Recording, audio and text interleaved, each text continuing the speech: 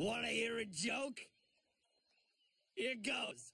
My ex-wife still misses me, but her aim is getting better. Her aim is getting better. You see, it's it's funny because marriage is terrible.